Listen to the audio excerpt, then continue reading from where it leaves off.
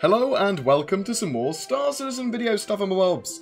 Uh, so a while ago I did a brief look at improving frame rates and settings for Star Citizen. Today I'm going to expand on that and talk about a few simple setup things you can do for your PC, as well as more advanced things. But it's going to be uh, looking at the right drivers, and making sure you've got the settings right, making sure you've got your .cfg file set up, uh, getting SLI and Crossfire working, all that sort of jazz. Uh, a simple but ultimate Star Citizen setup kind of guide thing.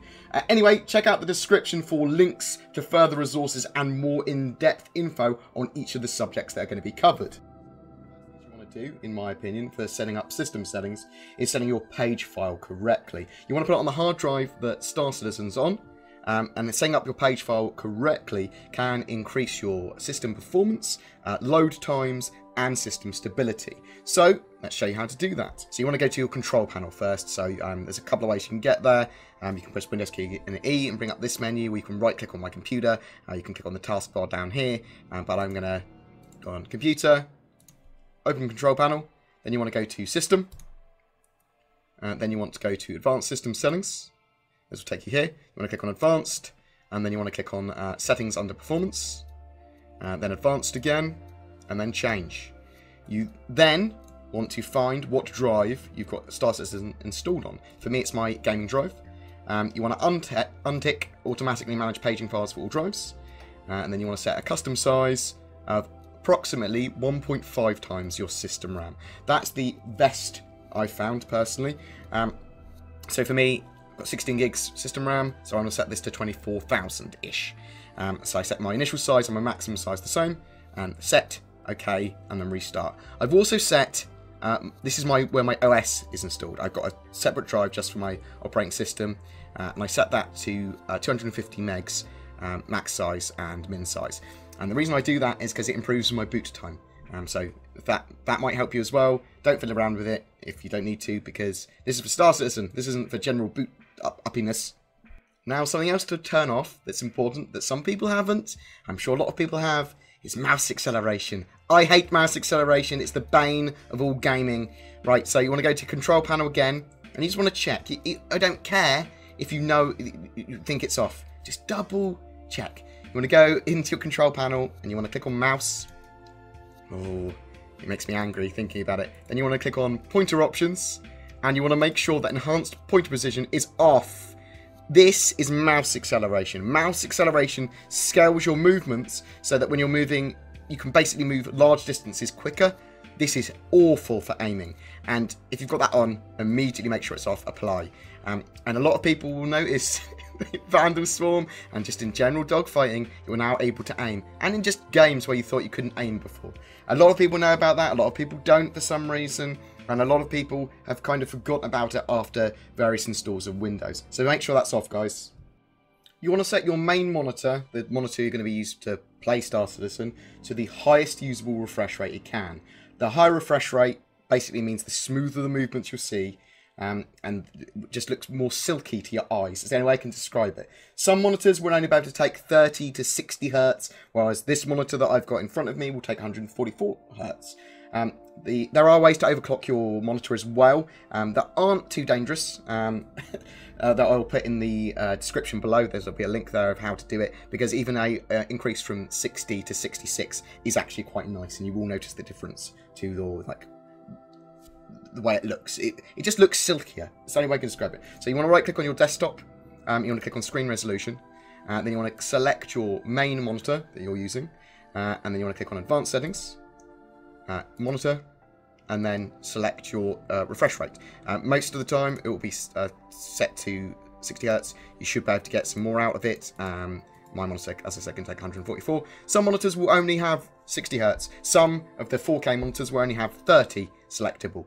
Um, as I said, you can uh, overclock. Links in the description below. Um, but also, if you're using uh, multiple monitors to render, so you've got multi, if you've got a multi-monitor setup and you're running Star Citizen over three, like two monitors or three monitors, set your refresh rate to the highest that is common between all the monitors. So in this situation, if I was running Star Citizen across my two monitors here, um, the highest refresh rate of my secondary monitor is only 60 hertz, so I would set my primary monitor also to 60 hertz. But fortunately, that's not the case. I only run Star Citizen on one of my monitors, so I can have it at 144 Hz, which is nice. It looks pretty. So if you've got a multi-GPU setup, so if you've got SLI um, or Crossfire or just a multi-GPU card, then Star Citizen might not be using it correctly. So what you want to do is go into where Star Citizen's installed. So for me, that's uh, Games, Star Citizen. You want to go into the Star Citizen Citizen Client, Uh, and then you want to find the System config file. You want to open it in Notepad. Now mine's already set up to open in Notepad, and you want to add the line r underscore multi GPU space equals space one. This line here, and then save. And basically, that will now enable your multi-GPU to be usable in Star Citizen. Should give you a few extra frames per second if you hadn't noticed them already. They can cause some artifacts, but in the latest version 1.1.1, I haven't really noticed any um, uh, with the latest NVIDIA drivers I have. So hopefully that'll be the same for you guys. So it's worth creating a user.cfg in your Star Citizen folder. This will basically apply settings every time you run Star Citizen automatically, so you don't have to open the console. Um, and it's really useful because you can get some really great extra frames per second. You can turn off stuff you want to turn off. You can fiddle around with it. It's just quite nice. Um, so you want to go into Star Citizen folder, go into Citizen Client, uh, and then right click in Citizen Client and create a, a text document and call it user.cfg. Here's one I made earlier.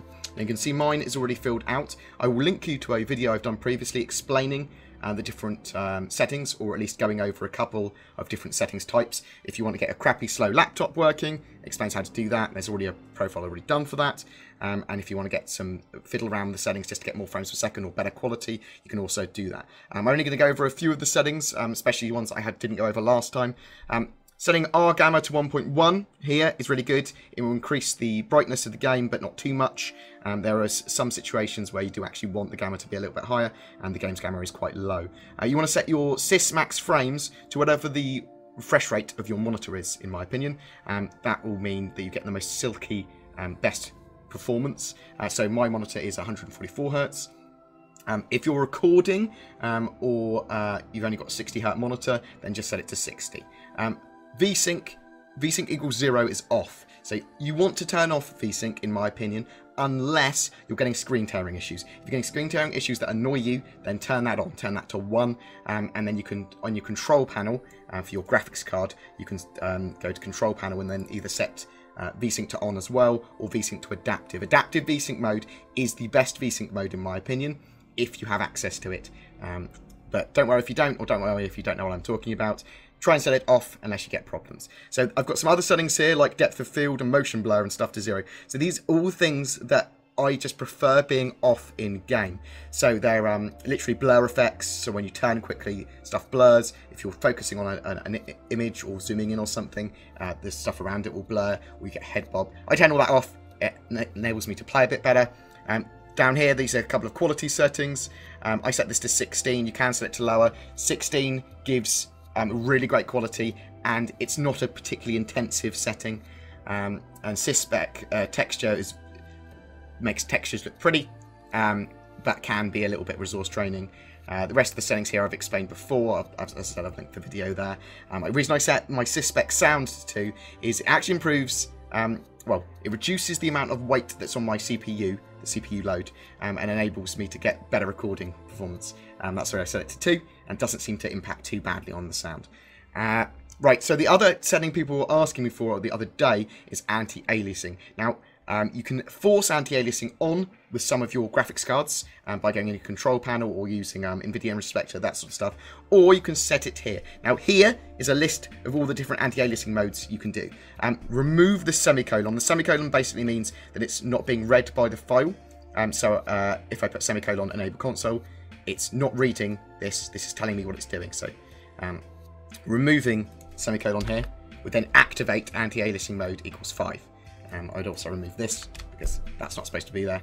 Um, it's just telling you you can set it between 0 and 10. 0 would be off, um, and all the settings do different things. Now, my preferred method of anti-aliasing is FXAA. It is fast, and it still does a nice quality, which looks good when you upload videos to YouTube. Whereas other anti-aliasing modes might be better and give better quality, um, but they impact frames quite a lot, and you can't really tell that much of a difference in my YouTube videos at the very least. Um, so FXAA is always my preference here. Uh, I'll leave um, all of the um, different settings in the description as well, so you can have a look at them more closely in case it's a little bit blurry or something, or you can't zoom in here. Um, fiddle around with them, see what's best for you, and they all do different things. Um, SMAA is different from FXAA, is different from TXAA, which is different different from MSAA. So have a look at all of them. You then literally just need to make sure you've saved uh, the file um, as user.cfg, and then Star Citizen. Every time you launch Star Citizen, it will automatically read that file. And the same with the system file. Um, the system file, the reason you put the uh, GPU uh, data in there is because it doesn't work in user uh, for some reason. It only works in system. That, so you have to put the multi-GPU setting in the system file. So it is also worth setting up a profile for your graphics card for Star Citizen. Um, and I only have an NVIDIA card currently, so I am going to show you how to do it on an NVIDIA card, and I'll try and link to something how you do it on an uh, AMD card, but I'm pretty sure it's pretty similar. So you right-click uh, con NVIDIA Control Panel um, on your just on your desktop, then you want to click on Manage 3D Settings, um, you then want to go to Program Settings, Add, and then you want to um, add Star Citizen. Um, it, not the launcher, you want to actually add starcitizen.exe. Um, that will add it as Squadron 42 Star Citizen. So now you've got a load of settings which you can set. Now, um, I recommend leaving everything alone and, I, and, then, and, then, explain what you should change if you want to. Anisotropic filtering, I like to always set on 16 times. It's a very fast filtering process that shouldn't impact your frames that much and make stuff look quite nice. Um, I've forced on uh, FXAA using a program called NVIDIA Inspector, which I will talk about in a minute. Um, this is my preferred way of doing anti-aliasing, especially on my card. Uh, I turn it off in the Star Citizen uh, user.cfg and allow this to do it, because it seems to give me more frames per second, and it looks good. Um, I'm, I'm, not sure why, it just does.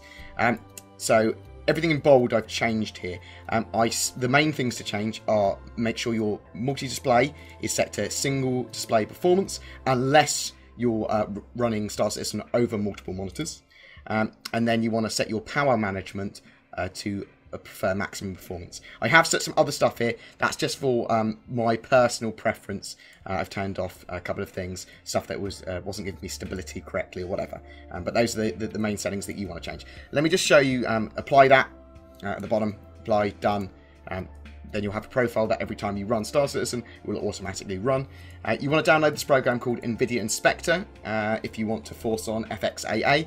It also gives you the ability to do a few other things which are pretty cool. Um, literally just download it from the link I've got in the description. Uh, once you've downloaded it, just run it. Just run it.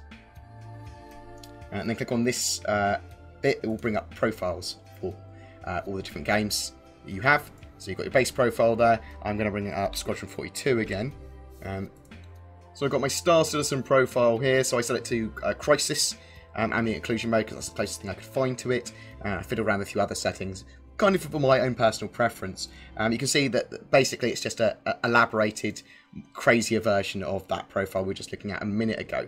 But the thing you can do on here is you can set, um, where it says here, NVIDIA predefined FX AA usage, you can set to allowed.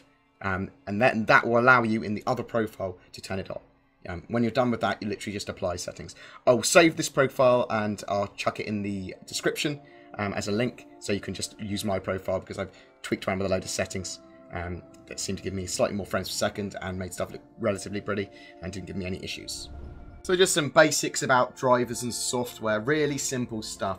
Make sure you've run and installed all the latest service packs and updates for Windows. I recently upgraded to Windows 8.1 from Windows 7 and was actually surprised that my system was a lot more faster and stable, um, especially after I installed all the latest driver updates, all the latest service packs, all that sort of jazz. Um, it's definitely worth grabbing the latest BIOSes for your motherboard and graphics card. You'll have to go to your uh, hardware manufacturer's website for that.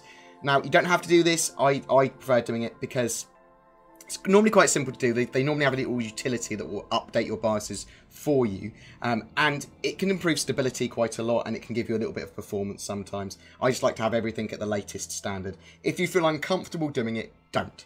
Don't do it. Um, make sure you've got the latest drivers installed for your motherboard and graphics card too. Um, I use a program called Driver Booster as well. Now, Driver Booster basically updates um, it looks at all your drivers on your computer um, and tries to update ones that are out of date. It's free, uh, it's really useful, I'll put it in the description below as well. So just some other points of note. If you're installing Star Citizen, try and install it on an SSD, on a solid state drive. It's a no-brainer in my opinion. Star Citizen is pretty much unoptimized, and even if it weren't optimized, then putting on an SSD just makes sense. You're going to get much better load times, stability, and performance.